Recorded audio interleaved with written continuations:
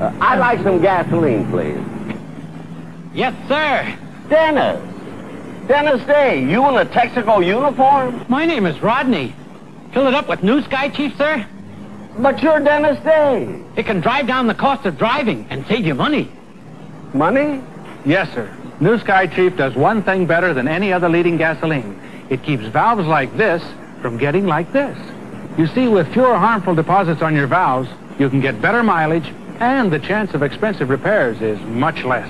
Oh, well, in that case, I'll try a gallon. Gee, thanks, Mr. Benny. Wait a minute. If you're not Dennis Day, how did you know I was Jack Benny? Who else would buy one gallon? Texaco sells more gasoline than anybody else. So why a new Sky Chief gasoline?